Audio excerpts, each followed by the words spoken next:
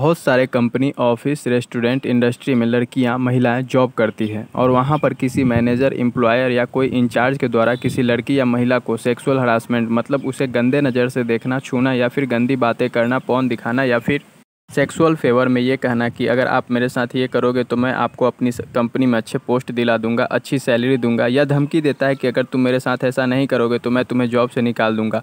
तो उसके तहत एक कानून बनाया गया है, आईपीसी की धारा 354 दोस्तों, मैं शुभम आज हम जानेंगे कि छेड़छाड़ करने पर क्या कानून है, क्या सज़ा है और कौन से सेक्शन लागू होते हैं। चलिए शुरू करते हैं। आईपीसी की धारा 354 के तहत दोषी पाए जाने पर पाँच साल तक की कैद की सज़ा का प्रावधान किया गया है। इसमें कम से कम एक साल तक के कैद का प्रावधान है। इसे कॉग्निजेबल की कैटेगरी में रखा गया है, यानी यह एक गैर जमानतीय संज्ञेय अपराध है मतलब यह अपराध समझौता करने योग्य नहीं है। सेक्शन 354 में कई सब सेक्शन जोड़े गए हैं, जैसे section 354 A section 354 B section 354 C और सेक्शन 354 डी सेक्शन 354 ए में चार पार्ट हैं। सेक्शन 354 ए पार्ट वन में कहा गया है कि अगर कोई शख्स सेक्सुअल नेचर के साथ किसी महिला को छूता है तो वह सेक्सुअल नेचर कंडक्ट कहा जाएगा। सेक्शन 354 ए पार्ट टू में कहा गया है कि अगर कोई शख्स किसी लड़की या महिला से सेक्सुअल नेचर का आग्रह करता है, यानी कि मांग करता है तो यह एक क्राइम की कैटेगरी में आएगा।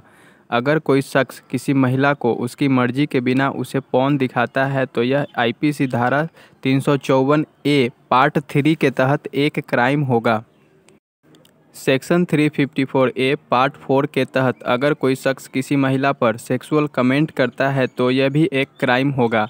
इन मामलों में एक साल से तीन साल तक के कैद का प्रोविज़न किया गया है। इसे कॉग्निजेबल की कैटेगरी में रखा गया है, यानी यह एक गैर जमानतीय संज्ञेय अपराध है मतलब यह अपराध समझौता करने योग्य नहीं है।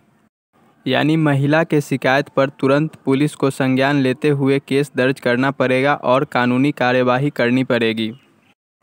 चलिए बात करते हैं आईपीसी सेक्शन 354 बी के बारे में। आईपीसी सेक्शन 354 बी के तहत कानूनी प्रोविज़न किया गया है कि अगर कोई शख्स किसी महिला के खिलाफ बल का प्रयोग करता है और अपने कपड़े उतारने पर मजबूर करता है या अगर उकसाता है तो यह एक क्राइम होगा और यह मामला गैर जमानतीय अपराध की कैटेगरी में रखा गया है। इस मामले में दोषी को कम से कम तीन साल तक और ज़्यादा से ज़्यादा सात साल तक की सज़ा हो सकती है। अगर कोई शख्स किसी महिला के प्राइवेट एक्ट या प्राइवेट मोमेंट की तस्वीर लेता है या फिर उसे लोगों में फैलाता है, ये आईपीसी सेक्शन 354 सी के तहत आरोपी होगा। पहली बार दोषी पाए जाने पर एक साल से तीन साल तक की सज़ा, दूसरी बार दोषी पाए जाने पर तीन साल से सात साल तक की सज़ा का प्रोविज़न किया गया है। चलिए बात करते हैं आईपीसी सेक्शन 354 डी के बारे में। किसी महिला या लड़की को उसकी मर्ज़ी के खिलाफ के बगैर कोई शख्स उसका पीछा करता है या उसे संपर्क साधने की कोशिश करता है तो इस मामले में महिला की शिकायत पर आईपीसी सेक्शन 354 डी के तहत केस दर्ज किए जाने का प्रावधान है। दोषी पाए जाने पर तीन साल तक की सज़ा का प्रावधान किया गया है। चलिए बात करते हैं एसिड अटैक के बारे में। एसिड अटैक के मामले में सख्त कानूनी प्रावधान बनाए गए हैं। एसिड अटैक के मामले में आईपीसी की धारा 326 ए और 326 बी के तहत केस दर्ज होगा। ज़्यादा से ज़्यादा इसमें उम्र कैद तक का प्रोविज़न किया गया है। तो दोस्तों, आपने इस वीडियो में जाना किसी महिला या लड़की के साथ छेड़छाड़ करने पर क्या कानून है?